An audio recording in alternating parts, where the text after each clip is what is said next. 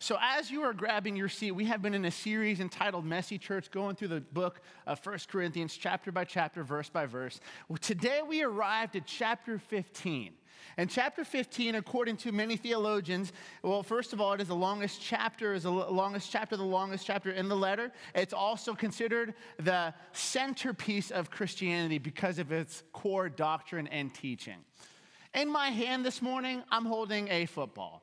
And listen, it's not football season, but it's always appropriate. There is this old saying in the late 1960s, I believe it was 1967, the Green Bay Packers are absolutely blindsided and defeated by the Philadelphia Eagles. The next fall, as now the Green Bay Packers and coach Vince Lombardi go back to training camp, go back to training, go back to preparing for the following season, the players are taken by surprise as Vince Lombardi stands in front of his players in the locker room and holds up a football. And he says, Men, gentlemen, this is a football. What was Vince Lombardi saying? These professional athletes are taken by surprise. Because now, that summer, that training camp, they're learning the fundamentals how to tackle, how to block, how to catch, how to throw, how to read a defense. It's all fundamentals. These professional football players had to be brought back to the basics. This is a football. By the way, Vince Lombardi and the Green Bay Packers would go and win five Super Bowls in seven years. And it all started with this is a football. Sometimes we need to go back to the fundamentals. We need to go back to the basics. Church, this is a Bible. This is the Bible, it's God's word. This is the very heartbeat of 1 Corinthians chapter 15. You will recall over the last couple of weeks, man, the Apostle Paul has been all over this gamut as he is addressing questions and issues that arose from the early church in Corinth. Apparently, one of those early issues was the resurrection of Jesus Christ. Let me explain.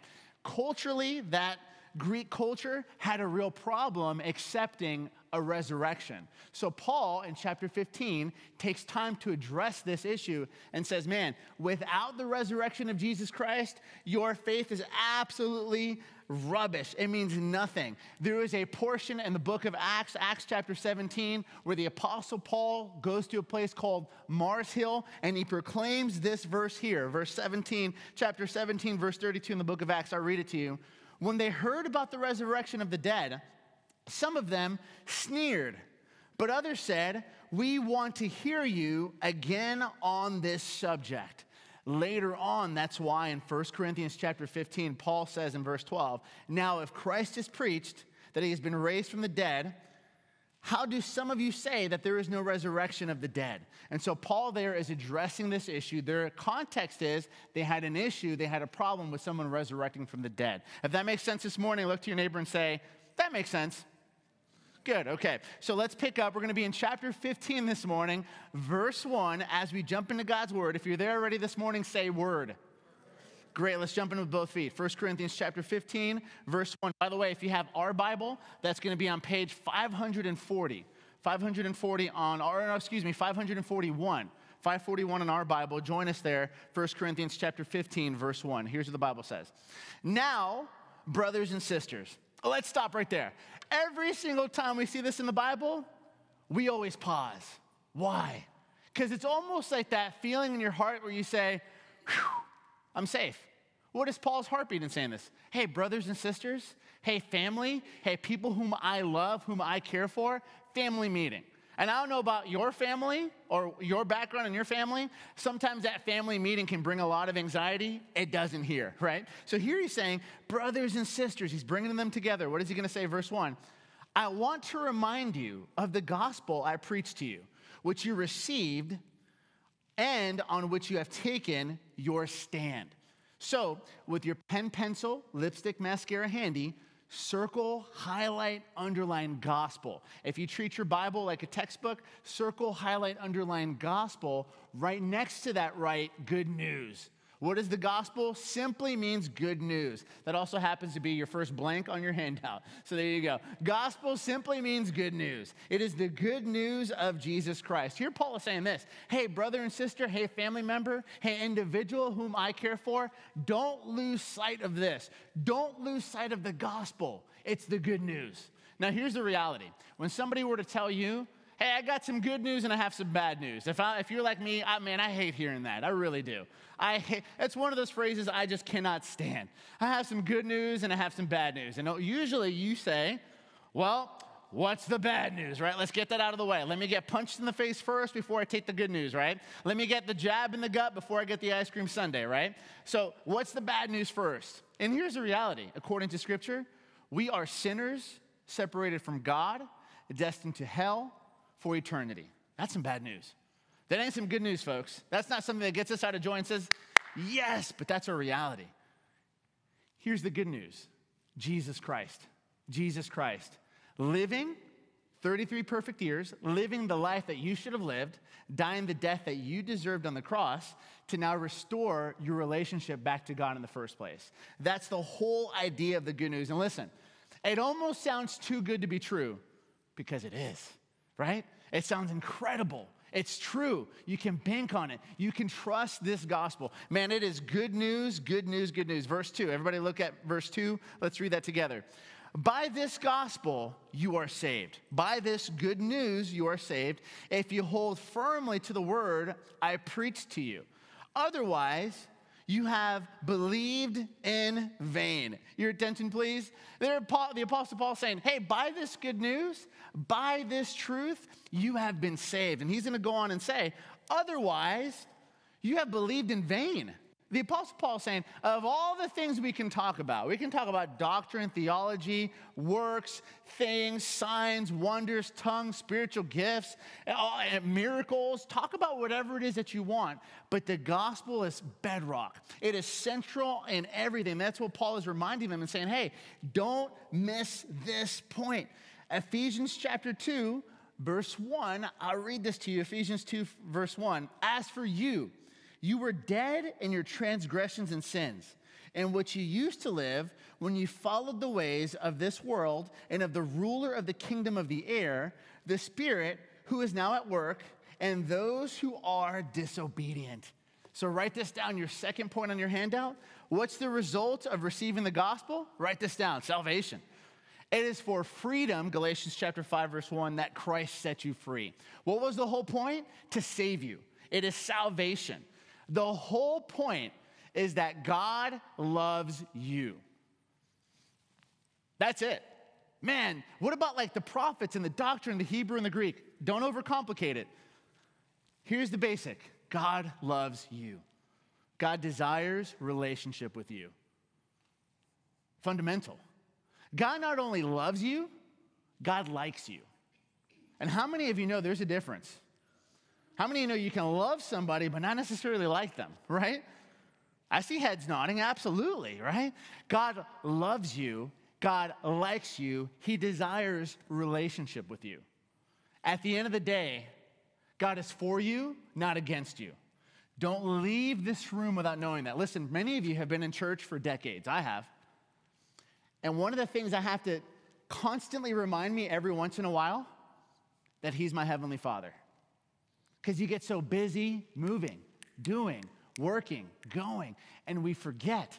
We forget that almost like the Holy Spirit knocks on your heart and the Lord says, Roger, you know I love you, right? Yeah, no, I know, Lord, I know. No, no, Roger, I love you and I like you and I desire a relationship with you. I want a fellowship with you. I want to spend time. I want you to abide in me.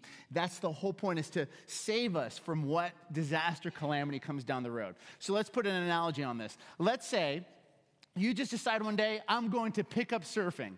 But here's the problem you're not a very strong swimmer, okay? So you're gonna go over to Daytona Beach, you're gonna be on your board, you're gonna paddle, you're gonna kick up, you're gonna be riding a wave supposedly, and there, boom, you fall into the water. Here's the issue you don't know how to swim. You can't save yourself. And three, four, five times if you're trying to reach the surface and you can't, you eventually come to the conclusion I'm a goner. I'm going to drown. I'm not going to make it. Until a lifeguard comes and scoops you up by the arm, pulls you out, and saves you. See, calamity, destruction was coming, but somebody stepped in and now that destruction does not come anymore. You are now saved.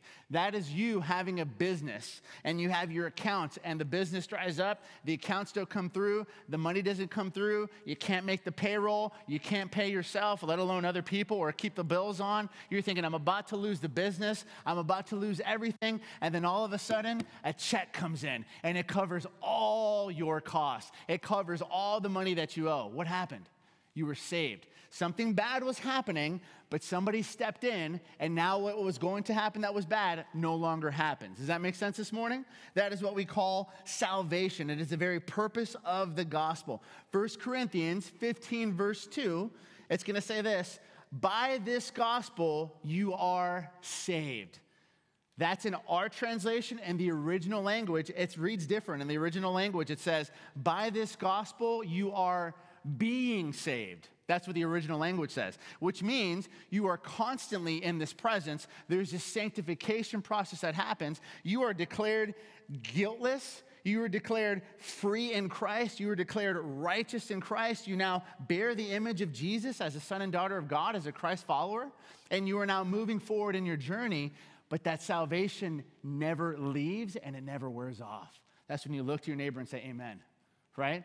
Absolutely, absolutely. So on your handout, three parts of salvation. Right there in front of you, in front of you, you should say, you should see three parts of salvation. So write this down. Here's the past. Write this down. Justification. Justification. Now listen, let's be honest. Justification is an unnecessarily long word, almost like mayonnaise, right? But let's break this down. What does justification means? Justification means, I've heard people say before, just as if I have never sinned justified, just as if I have never sinned. Romans chapter 5, verse 16, it's going to say this Free gift arose from many transgressions, resulting in justification. See, here's the reality Jesus, because of the power of the cross, the good news of the gospel, your past has been paid for, has been forgiven. Don't ever let the enemy throw your past in your face. The past is done. Amen? It's been paid for on the cross. You are now a uh, you are now an innocent, free man, free woman walking in the freedom of Jesus Christ. Years ago, Rachel and I had the privilege of leading a youth group in, uh, in, in, Pompano Beach, Florida, in South Florida, in Broward County. We took a group of our kids to summer camp. And when you take a group to summer camp, I'll just be honest, your main objective is to make sure all the kids come back alive to make sure you come back with all those kids and you just pray that, the, that heaven falls. You just pray that there's some kind of response, right? You just want to see some kind of movement in your youth group. We went, we took a, a group of 25, almost 30 kids to middle schoolers. Ah, middle schoolers, I forgot to mention that. Middle schoolers to DeLand, Florida, to Stetson University for a camp for a week. We loved it. Great time. In that week, we had a boy by the name of AJ. Let me explain. AJ was the boy my assistant told me hey, Roger, AJ's father turned in a, a, an application, a brochure for him to go to camp.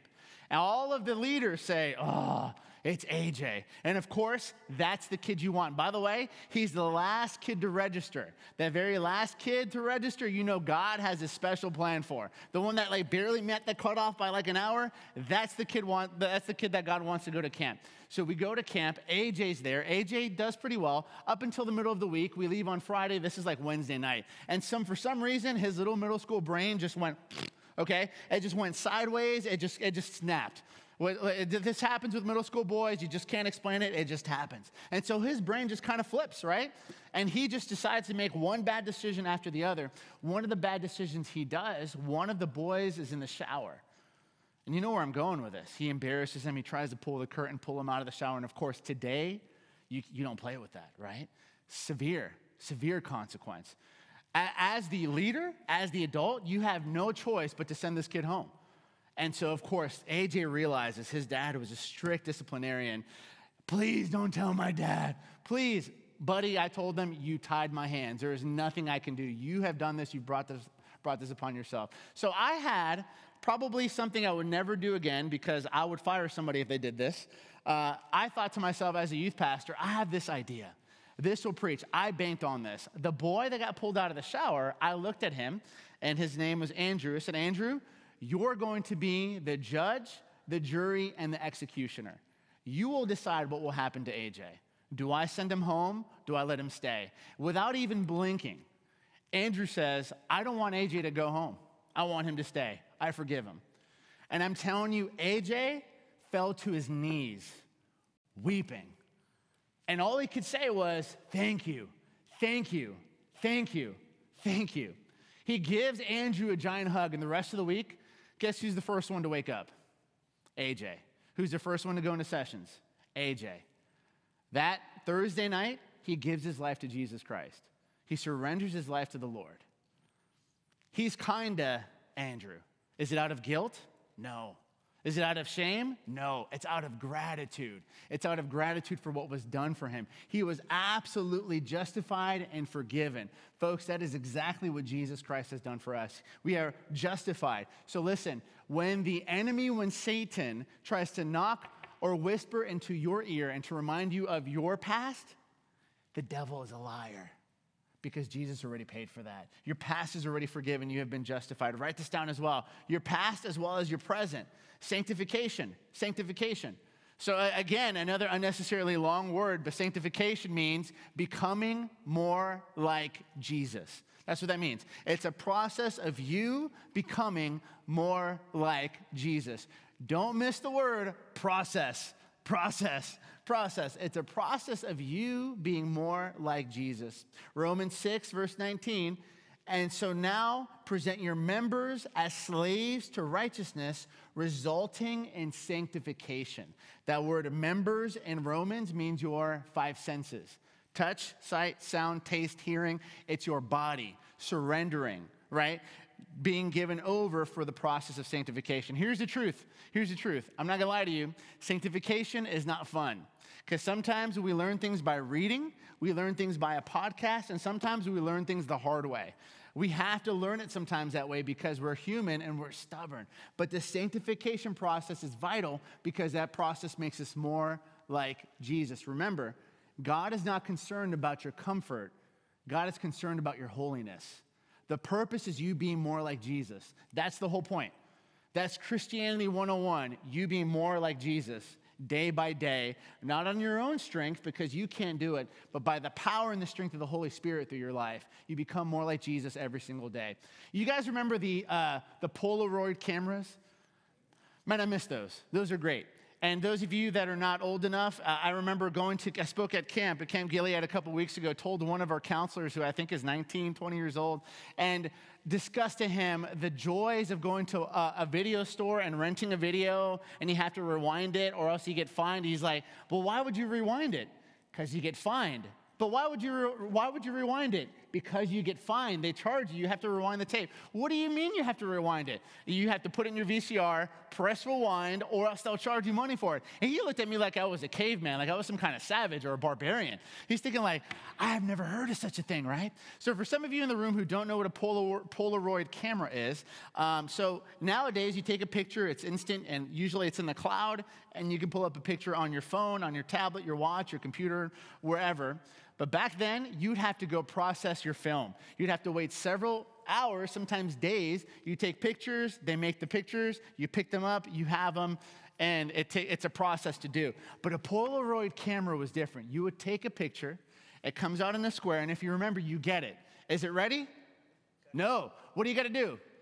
You got to shake it like a Polaroid, right? You got to get it and shake it. The process is shaking it, and as you're shaking it, you have to shake it and you wait on it, and then what happens? Your picture's clear, it's visible. Sanctification is a lot like that. You have to be shaken and you have to wait. You have to be shaken and you have to wait. What's the result? To make you more like Jesus. That's the result. It's sanctification. That's where God's kindness comes in. So it's our past justification, it's our present sanctification.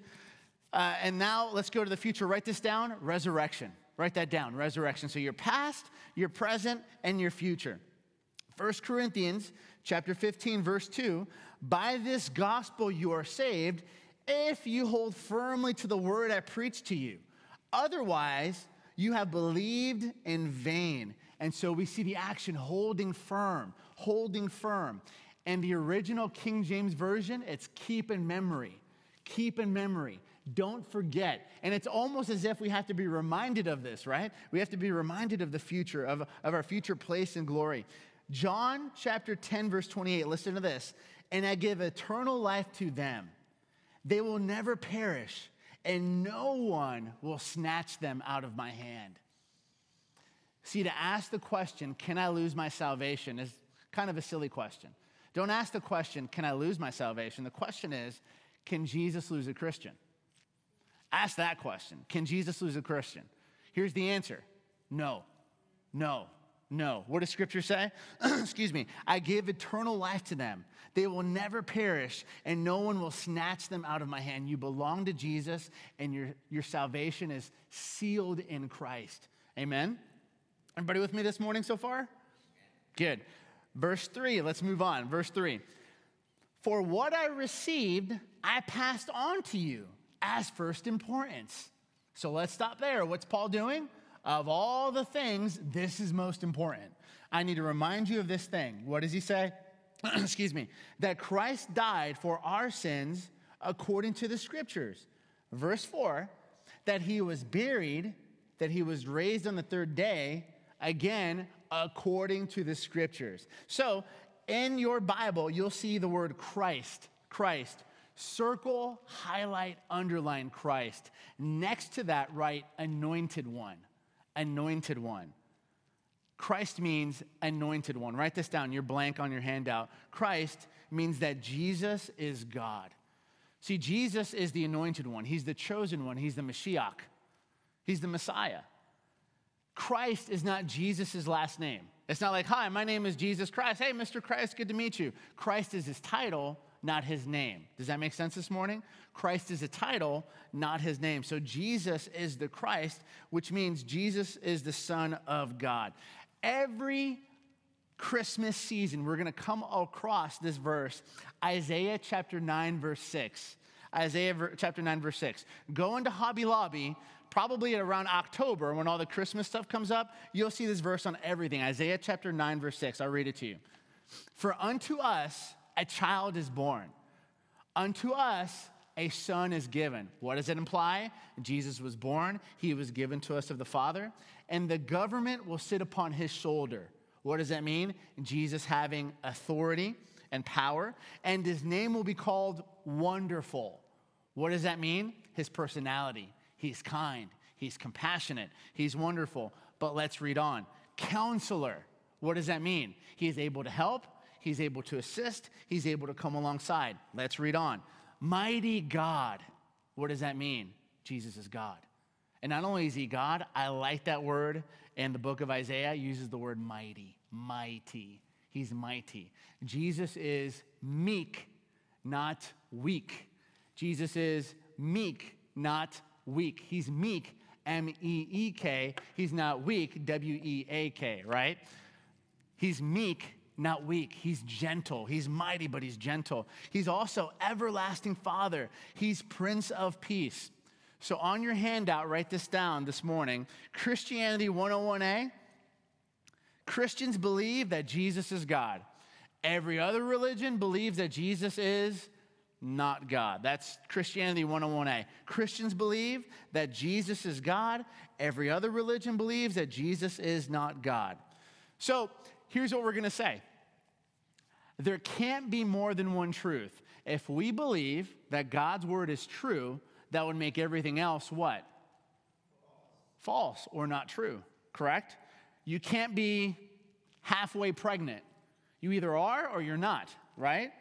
There's no such thing as two truths. There's no such thing as two truths. That's nonsensical, right? I don't care what culture tells you, that's a lie. There's a truth and there's untruth. So if we believe that scripture is true, we would believe that Jesus is God. Every other religion, every other form of faith believes that Jesus is not God, which means that it is not true, right, according to Scripture. So this is very interesting. In our city alone, the Southern Baptist Convention in our city has some in our region has some, I believe it's like 96 or 97 churches. Just the Southern Baptist Convention. That's it. I mean, 96, 97 churches. That's insane. That's a lot of churches. We are a very reached area of the country. Now, let's go outside of those circles. Let's go outside of that tribe. You have Methodist churches, you have Presbyterian churches, we have our friends over at Victory, we have our friends over at Lakes Church. We have our, our, our, friends over at Mount Tabor. We have our friends over at Revive. We have our friends over at Calvary Chapel. We have our friends in numerous different tribes in our city. And we're all on the same team. Why? Because we believe that Jesus is God. So let's say you're at home and you're going to see a nice fancy bike. And you're going to see a Mormon riding on that bike. They're going to knock on your door. You're going to open the door. You're going to have dialogue. You're going to ask the Mormon individual, Who is Jesus? They're going to say, Well, Jesus isn't God. I mean, he's a son of God, but he's not the son of God. The Mormon will go and tell you, you see, because God has two sons, Jesus and Lucifer. So Jesus is not the son, he's not the Messiah. Yeah, he was crucified, he died, but he didn't really die for what we believe it to be. He did ascend into heaven, and guess what? If you live your life perfectly, one day you can rule your own universe like Thanos. That's what they would teach. That's what they would teach. Here's the problem it's not truth, it's not scripture. The Jehovah's Witnesses also maybe on, it's a Saturday. They knock on the door, you're hiding behind your couch, you get out of your couch, you open up the door, say, Hello, my name is so and so. You ask the Jehovah's Witness, Who is Jesus Christ? Is Jesus Christ God? They would say, Oh, no, no, no. See, Jesus Christ was Michael the archangel who came down in the form of Jesus. He eventually just resurrected back, and now he's back into his form as Michael the archangel. Here's the problem with that it's not truth. You're going to come across the Unity School of Christianity. And that sounds good. Unity. Yeah, we're united. It's school. I mean, we're school, right? We're, we're in favor of schools. Uh, Christianity. Oh, that's safe. The Unity School of Christianity. You're going to ask them, is Jesus God? No, no, Jesus is not God. In fact, we believe, they would say, the Unity School of Christianity, we believe that a man came on planet Earth. He lived several lives through reincarnation. He eventually got it right. He was Jesus. Oh, okay, that's interesting. So, did he die for our sins on the cross? Oh, no, no, no. He didn't die for anybody. He eventually, because he became perfect, ascended into heaven and now is in heaven as Jesus. And if you are perfect through a series of reincarnation, that's you trying your life over and over and over until you get it right, when you arrive just right, you too can go into heaven. Here's the problem with that it's not true. It's not true. Muslims, is Jesus God? No, no, but we respect Jesus. We have a, we have a fond respect of Jesus. Jesus is mentioned in the Quran. They'll say, hey, he's in our scripture. Is Jesus God? No, no, he's a prophet. Muhammad is the true prophet of God, not Jesus. Did Jesus die on the cross? Oh, no, no. See, Jesus was crucified on the cross, but he didn't die, he passed out. And then as he passed out, he eventually just kind of ascended into heaven, into glory with the other prophets. What? Here's the reality it's not true. Now, remember what we said last week. What is the truth? It's a scalpel, not a sword. Remember? It's a scalpel and not a two by four. Remember? So, what do we do? That should break our heart for these people. It's winning these folks to Jesus, not beating them over the head with Jesus. Does that make sense? Does that make sense? So, as I tell you these things, your heart should break. There should be something in your heart that says, oh, it sounds like truth, but it's not truth. Ah, it sounds so close, but it's wrong. Ah, they're missing heaven by this much because it sounds right. But listen, as a Christian, this should break your heart. But also, as a Christian, this should remember you because remember, Christians believe that Jesus is God. Every other religion believes that Jesus is not God. What would that mean? We don't shoot at our own tribe. We don't shoot at other tribes too. That would be like Florida going to war with Georgia and Texas or New York right? We don't shoot against our own people. We have friends in different denominations, we have friends in different traditions. Some of them will believe that the gifts continue. Some of them believe that they have ceased. Some have women pastors. Some do not have women pastors. Some are more complementarian. Some are more egalitarian. Some are more reformed. Some are more Arminian. Do you believe Jesus is God? Yes. You have the jersey. We're on the same team. Amen? Let's not be shooting at other people on our team. So that's important for us to remember. And Paul is bringing that to their attention. 1 Corinthians chapter 15, verse 3. Let's read that one more time. Verse 3. For what I received, I passed on to you as of first importance that Christ died for our sins according to the scriptures. So write this down. Very foundational. This means practically, I am a sinner. That's what that means. I am a big fat sinner. That's what that means. The scripture would say, Romans chapter 3, verse 23, for all have sinned and fall short of the glory of God. All have sinned and fall short of the glory of God. Scripture will also say, the wages of sin is death. The wages, the cost, the heaviness of sin equals death. It always does. When we disobey, there's consequence. When we disobey, there's action that happens that's not favorable. We believe to the very core that we're a sinner. Can I tell you, we were born sinners.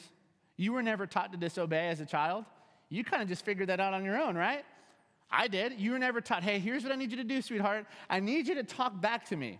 Can you talk back to me? Good job, sweetheart. I'm so proud. No, I didn't have to be taught that. I kind of figured that out on my own. When I tell you to do something, I need you to tell me no and stomp off. Can you do that for me, sweetheart? Great job. Listen, we do that on our own. Dogs bark, cats meow, people sin. It's our very sin nature. It's our sin nature. And the idea of the gospel is that we can't save ourselves.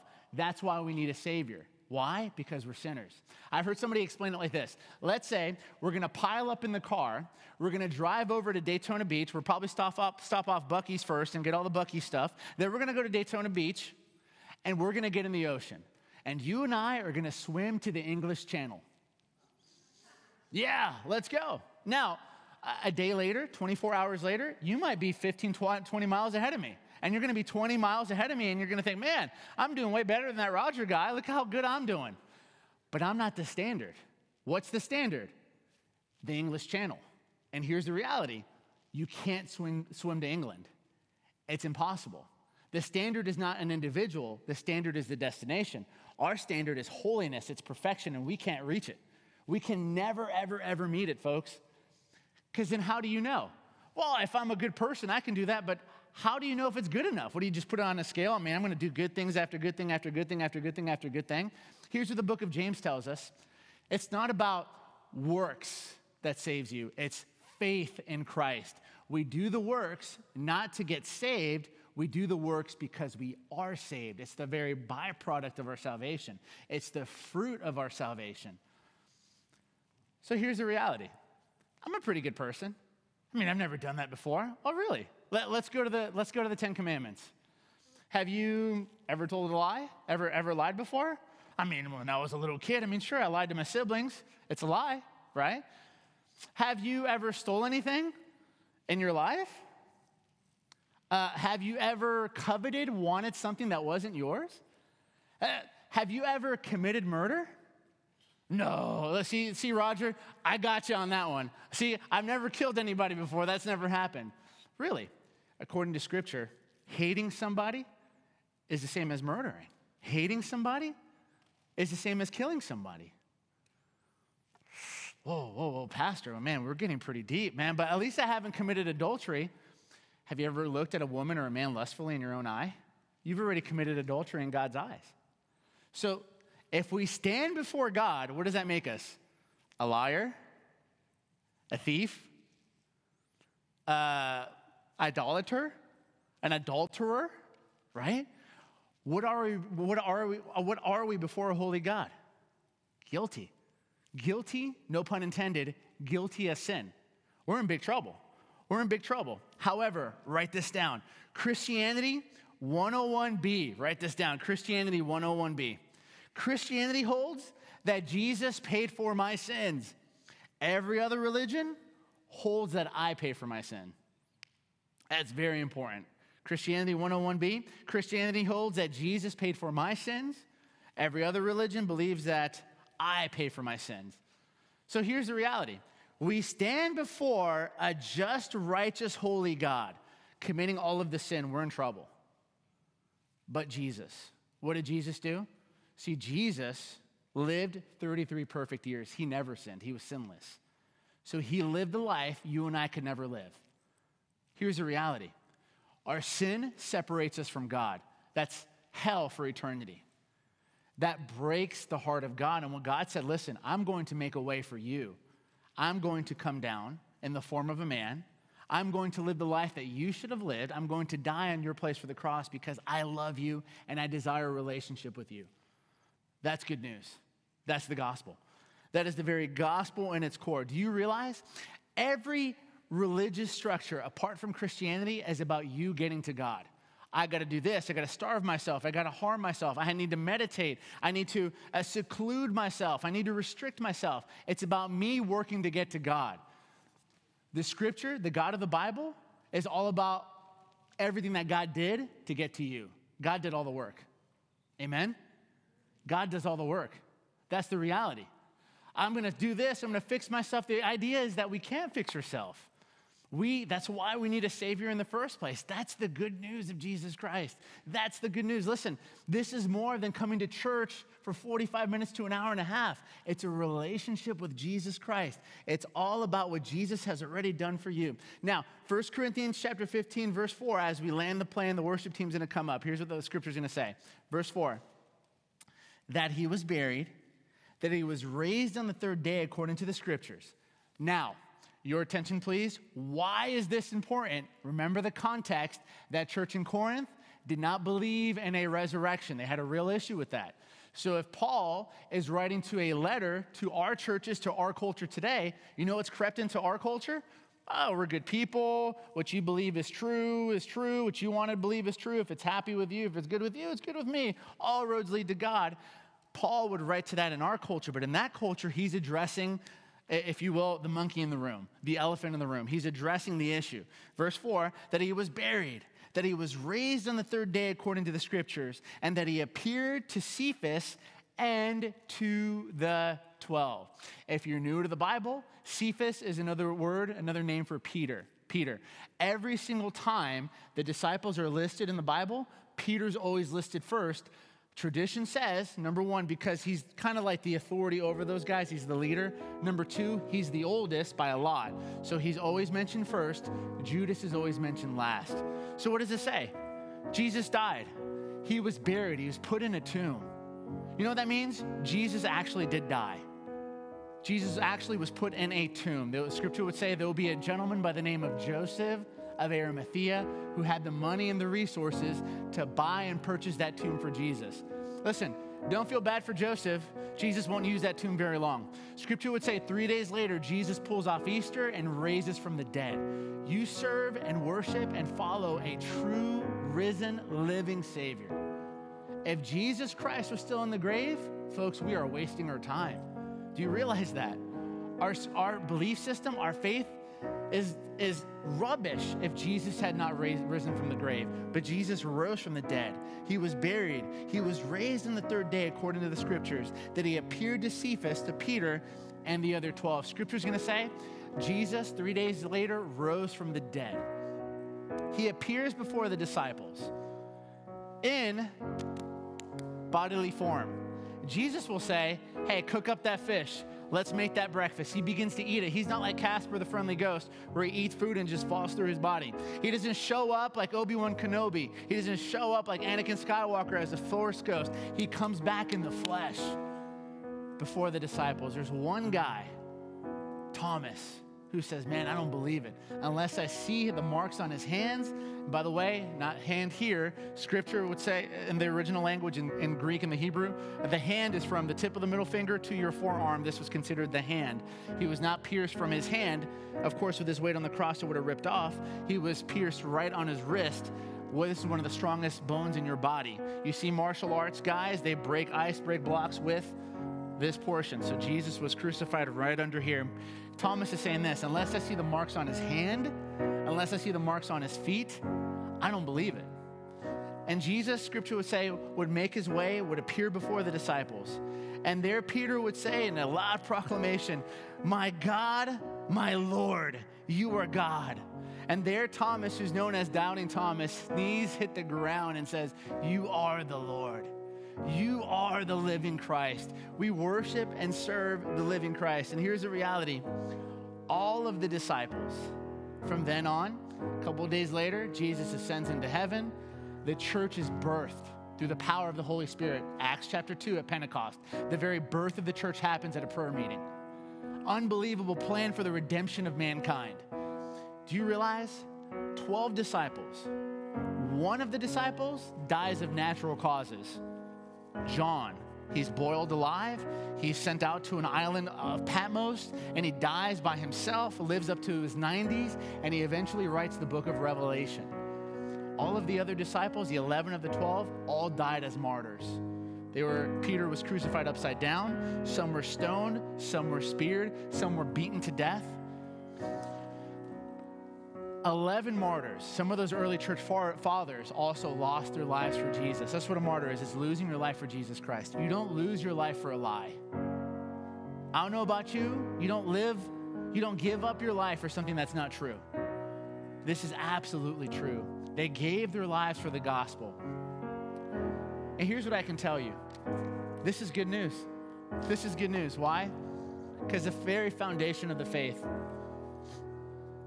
God loves you and He di- desires relationship with you. He gave His Son to die for you on the cross, to remove your sin, to establish a place for you in heaven and glory.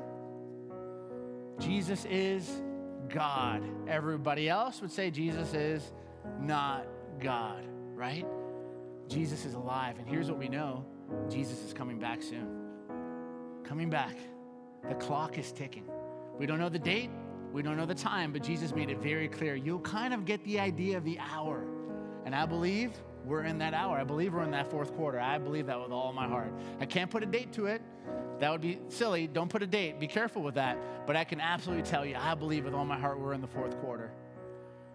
Do you know that you know that you know that if you died today, you would be in heaven with the Lord?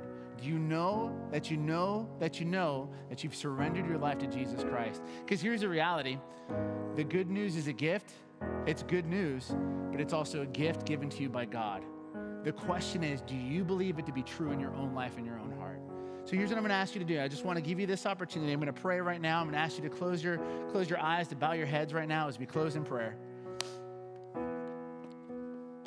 And if you are here under the sound of my voice and you say, man, you know, I, I don't know. Roger, you were saying, if I know that I know that I know, I don't know. I don't know where I would be. I don't know what my, my future place will be. I don't know if I fully surrendered my life to Jesus Christ. I'm not sure if I really surrendered my life to Him. Man, do it today. Do it today. I'm going to ask you to do this pray with me right now in your head and in your heart. If you feel the Holy Spirit, if you feel this tug in your heart that says, Yes, this is true, man, that is the Holy Spirit speaking to you today. Don't ignore it, don't fight it, don't refuse it. If you want to pray to receive Christ today, I'm going to ask you to pray with me right now in your head and in your heart and say, Father, forgive me of my sin. I know and I acknowledge that I'm a sinner. Right now, King Jesus, step out of heaven and come into my heart. Come into my life to be my God, my Savior, and my friend. I surrender my life to you today, King Jesus. My life is yours. I surrender it. I'm your disciple. In Jesus' name. Hey, listen, if you prayed that for the very first time, can you please let me know? Couple years back, I got invited to speak at a church in Orlando. Uh, they had two services. I was the guest speaker for the day. I was uh, pinch hitting for the pastor that was out of town.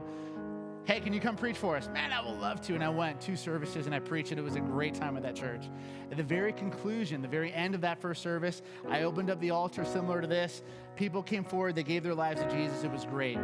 In between services, there was a guy that came forward and he said, Roger, I should have came forward and I didn't. And I said, no problem, bud. Hey, listen, if you want to pray, I'm going to pray to pray for you to receive Christ right now. Hey, pray for me. Pray with me right now. And he said, No, no, no. I don't want to do that.